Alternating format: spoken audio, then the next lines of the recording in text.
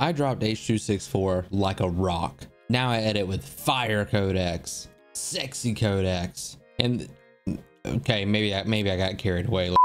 Since forever, creators have been wanting to take an SD card out of their camera, put it in their computer, and immediately start editing. While that is the dream, H.264 is heavily compressed. It's meant to be a viewing codec, not an editing codec. So it might start out fine, but once you have 100 cuts, color grades, graphics, animations, things start to get choppy and hard to edit. So what's the alternative? First, let me explain what a codec actually is. The word codec is an amalgamation of encode and decode. It's simply a compression algorithm applied to a file. Then whatever you're viewing the video on or editing knows what the compression algorithm is and uncompresses it in order to present it to the viewer. Without compression, files would be unwieldy. They'd be too large to be distributed on the internet, on media like this. Here's some quick math as to why. Each pixel stores color in three bytes. A 1920 by 1080 screen is 2,073,600 pixels. With 3 bytes per pixel, that's 6,220,800 bytes. That's 0.006 gigabytes per a single frame. That doesn't sound too bad. Now multiply that by 60 frames per second. Now multiply that by 60 seconds in a minute, and you're sitting at 21.6 gigabytes per minute. Not so great anymore. A lot of cameras, including the one I'm using right now, will record by default into H.264.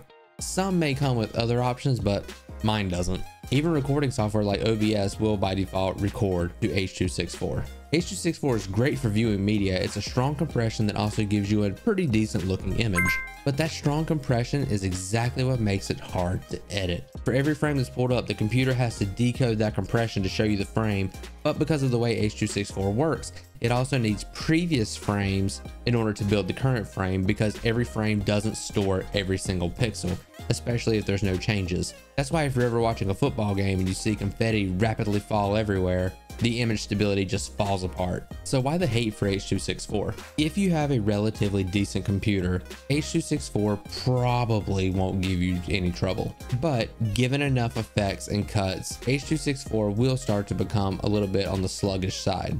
Now I have watched someone take H.265 footage from a Sony a7S III, which is very hard footage to edit, and throw it into an M1 Max MacBook Pro. That was also a $5,000 computer and most of you are gamers, so you're probably not editing on Macs anyway.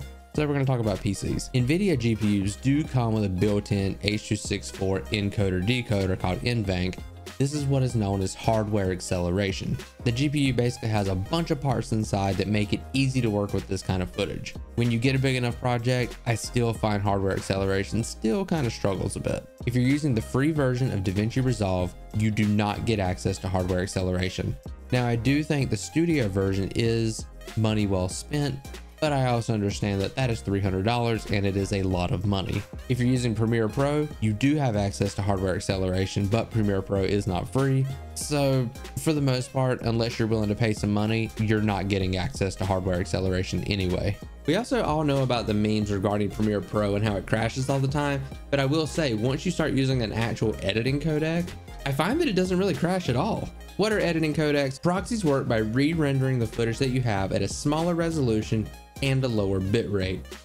Typically becomes significantly easier to edit with. Then you just have to remember to turn on the proxies while you're editing and to turn them off while you're exporting. Otherwise your export looks like garbage. I personally do not like proxies. I find they're kind of a two step forward, one step back kind of deal. They're still H.264. It's still not an editing codec. So let's talk about DNX HD. DNX HD was developed by Avid and is meant to be an editing and a presentation codec. While I'll be calling this DNX HD, keep in mind that that covers resolutions up to 1080 and then after that the codec uses DNX HR.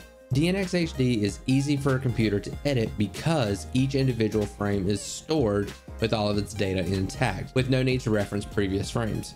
This means the computer just grabs, reads the frame and displays it and you're done. There's a storage and a time cost to using DNX HD and those costs are broken down like this. The time cost is this. There's no hardware acceleration for DNX HD. If you watch my video on how to record videos like Markiplier, you're going to have a double wide video that you're going to split into two parts. If you're going to be rendering anyway, you may as well try rendering out to DNX HD. Unless you're trying to turn around some super fast project on a tight deadline, you probably have time to spare. I highly recommend setting a project up to do some prep work, let it render, go get a snack, take a nap, get some water. Come here. Self-care. Take care of yourself. Because each individual frame is stored, there is a storage cost to this as well. You're looking at around three gigabytes per minute. And so for an hour of footage, you're looking at around 180 gigabytes. If you're a gamer doing the double wide method that I just mentioned, you've got two files, so we're doubling up. So you're at about 360 gigs for an hour. This is where I suggest, if you're an editor, to invest in an editing drive. I personally have an additional M2 one terabyte SSD in my PC that I use just for storing projects that I'm currently working on. That's a little overkill because that reads and writes at about 3000 megabytes per second. According to an article by Larry Jordan, you only need about 400 megabytes of read and write speed in order to successfully edit a 1080p project.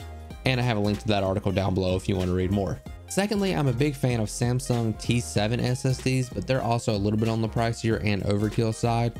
Based on the comments I have read on my other videos, a lot of people here use the free version of DaVinci Resolve. So hardware acceleration is, for the most part, out. If you can spare the storage space and the time, I highly recommend giving DNX HD a try on a big project at least once. You will be surprised at just how much better your project is maintained and performs when using a proper editing codec. If you can't swing those, then H.264 proxies are probably your next bet. I just don't, I just personally don't like them. Now that you're smart on codecs, you're gonna wanna go over here and watch this video on how to make cool vertical videos so you can get lots of views on TikTok and have a good one.